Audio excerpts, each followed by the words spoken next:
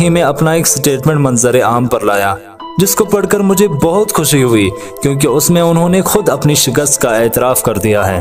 उस स्टेटमेंट को पढ़कर इतना तो मुझे समझ आया है कि शिया सुन्नी भाईचारे में कितनी ताकत है, और जब उलमा आपस में मुतहिद हो जाए तो फासिक व फाजर व शर अंगेज अफराद को कितना ये कठिन गुजरता है।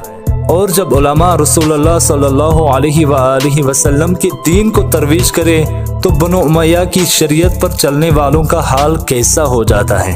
ये अंदाज़ा आपको भी इस स्टेटमेंट को पढ़ने के बाद हो जाएगा, जिसका इब्तदाई हिस्सा कुछ ऐसा है।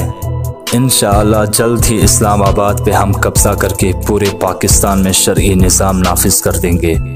तमाम सहाफ़ी हमारी हिमायत करें और मीडिया के ज़रिए हमारी मदद करें। वकाला शर्य कवानीन पढ़ ले, क्योंकि मुल्क भर में हज़रत अमीर माविया का शर्य निज़ाम नाफिज होगा। तमाम उलमा भी तैयारी कर लें और अपने जुमे के खुतबों और तबलीग में हज़रत अमीर माविया और सहाबा कराम के बारे में अपना काम शुरू करते हैं तो दोस्तों, लश्कर जंगवी का बचकाना अंदाज आपने देख ही लिया। बच्चों वाली बातें। इनको शायद मालूम ही नहीं कि तशयु नाम किस चीज़ का है।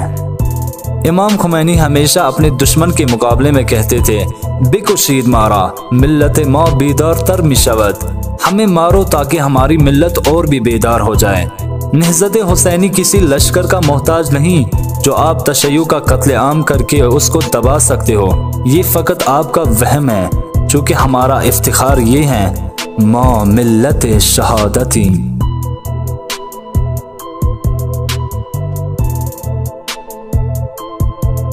और दोस्तों, इस स्टेटमेंट का एक पैराग्राफ वाजिबुल कत्ल अफराद का है, जिसमें से टॉप ऑफ़ द लिस्ट उस्ताद मोहतरम सैयद जवाद नकवी हफजोल्ला का नाम है।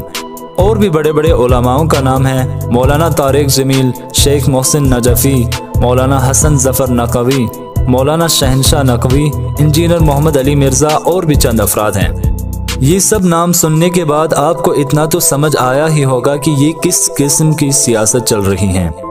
और एक बात वाज रहे कि हमें इनके हथियारों धमकियों से ज़्यादा इनके अकीदों से डरना चाहिए। हम उस आइडियोलॉजी को हरगिज कबूल नहीं कर सकते जो रसूलुल्लाह की आइडियोलॉजी से टकराए। ये कैसा मनगढ़ंत अकीदा उन्होंने बना रखा है कि जिसमें उन्होंने शरीयत रसूलुल्लाह नहीं, बल्कि शरीयत माविया नाफिज करनी है। आप इस बात का यकीन कर लीजिए कि इनको इस्लाम का कोई गम नहीं। इनको मुसलमानों का कोई दर्द नहीं, इनको रसूलुल्लाह की मेहनतों का कोई पासो लिहाज नहीं, जो ये आज शिया और सुन्नी भाईचारे को अपनी शर अंगेजियों से तोड़ रहे हैं। ये सब तो सऊदी रियाल व अमरीकी डॉलर्स का चक्कर है। सऊदी अरब में इनके शाहों ने हुकूमत के होते हुए कौन सी शरीयत को नाफिज कर दिया, जो इनके एजेंट लश्कर जंगवी पाकिस्तान में अब करेंगे? खुदारा इन साजिशों से बचे रहे, इनके प्रोपेगेंडों से बचे रहे ये अगर कुछ भी नहीं कर पाएँगे, लेकिन हमारी नादानी का फ़ायदा उठाते हुए हम शिया सुन्नी भाइयों के दरमियान तफरुका ज़रूर पैदा कर देंगे।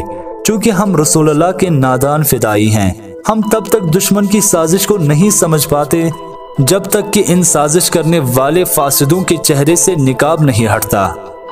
खुदारा रब्बानी का एहतराम अपने दिल में महफूज रखे, इनके हामियों मददगार बने रहें, ताकि हम राह हक से कभी ना भटक सकें। इन ताला मिलते हैं अगली वीडियो में तब तक के लिए अल्लाह हाफिज़।